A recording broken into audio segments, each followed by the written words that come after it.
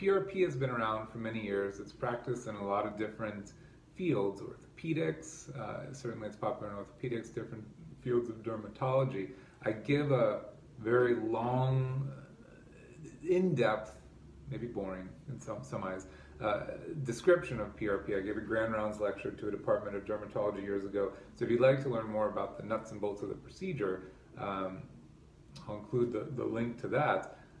The idea behind PRP is it, it, basically you're healing something without injuring it. Your platelet cells, when you get a cut, the first cell to arrive is a platelet cell. It sends out signals called growth factors and those growth factors help recruit cells that are involved in the clotting cascade and the healing process. So again, we're healing something without injuring it. You're essentially trying to halt the process of cell death. Cell death takes place all the time throughout throughout our each day, throughout every moment. We have skin turning over every 28 days. Our bones are always breaking themselves down and reforming.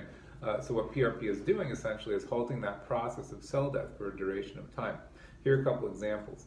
Um, I'll start with, with women. This is a patient of mine, she was 28. Um, she wasn't bald up here, she just had a lot of miniaturized hairs, and after a PRP series, she went from looking like that to looking like that. Uh, another patient before and after, and I'll run through a whole host of different images. The procedure takes about an hour. You come in, we do a blood draw, spin it down in a centrifuge to get your platelet concentrate. We numb the top of the head so you don't feel anything. It feels like you're wearing an invisible helmet. Um, we stimulate the scalp with a microneedling device, and that, that stimulates growth factor release. And then we do about 25, 30 injections of your own platelet cells beneath the scalp surface where the stem cells reside. Your head's a little bit red afterwards, so um, we'll give you a hat or you can wear a scarf.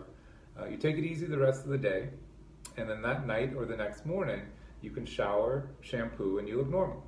You look normal the next day, but it can be achy and tight. Like when you twist your ankle and it's achy and tight, you can have that achy tightness on top of your head. Um, that can last for two or three days. You can have some swelling in your forehead and temple, but if you're good about icing after the procedure, then, then you'll be fine. Uh, and the third risk, these are the risks, they're more annoyances. Um, the third risk is that you can have some temporary thinning before it gets thicker. That's called shock loss. Um, when the new hairs are, are, sort of pushing the old ones out of the way, uh, the, the, old ones go, go through a cycle and, and, they're coming back in. Other people aren't going to notice, but you can notice some thinning about two and a half to three weeks after the procedure, but it always comes back uh, about two, two to three months after the procedure. Oftentimes people don't have it, but it's good to be aware that it's a possibility. So those are the, the risks of the procedure. If you can find the exact same spot, we'll oftentimes take magnified images of, of a patient's scalp looking for a landmark such as a freckle, uh, if we can find that exact same spot, then you can actually see how the individual hairs are changing. Ones can become twos. The hair coloration can become a little bit darker because the melanocytes, the cells that are involved uh, that provide color to your hair, those can be reactivated. The hair can become thicker, longer, fuller. Uh, sometimes people notice uh, ease of styling, an overall increase in volume. Um, seeing along the part line, the part line becomes a bit thinner. So the, the protocol that we follow is, is three sessions spaced one month apart and then taking pictures six months later. Uh, so January, February, March, and then you take pictures in July. They found that 62 of the 64 patients showed improvement. That's amazing. Why doesn't everyone do this all the time, every day? Well, importantly, only 55% showed clinically significant improvement, meaning you're standing across the room, you notice a big difference people with the most hair loss are the ones that seem to have the best response, meaning the people with the highest percentage of miniaturized hairs are the ones that show the most improvement. Um, so what I've found is the people that seem to respond best to PRP are people with sort of generalized thinning, maybe people that have an intact hairline, but the, the thinning is pretty pretty diffuse beyond that and all throughout. Those are people that can have a really nice response to PRP. The benefit from a PRP series of those three sessions spaced one month apart can be appreciated maybe six months later, but it can continue to improve for about 14 to 24 months. Then it may start to plateau and fade, but if you're a responder, you'll always be a responder. You can have another session um, a year and a half or two years down the road. This is a patient this is how she looked 13 years ago, and this is how she still looks today. She comes in every year for about a, a, a single session about every year and a half. And so you start with a series, and then you can sustain it with, uh, with individual procedures down the road. Again, the, the great thing about PRP is it's your own cells. It's autologous. It's your own cells treating yourself, and that has a lot of appeal. The downside of PRP is it's your own cells treating yourself, and so there's a there's a variable response that people can can have to this procedure.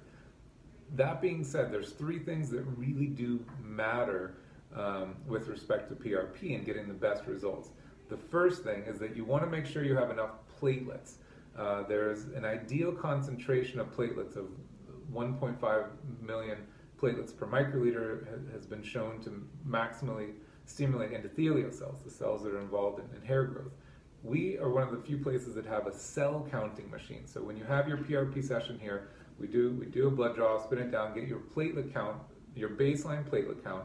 We set our centrifuge and calibrate it uh, based on your own count to, to optimize that. Uh, to, to achieve that optimal concentration, after the PRP is created, we do another count to confirm that you have the right uh, optimal platelet count in your PRP, and then we, we do the injections. You want to have the right amount of platelets. Number two, you want to activate the platelets. We use a calcium chloride solution to activate the platelets. That, that releases, it maximizes their release of growth factors. Growth factors are the signals that are really involved in the, the healing process.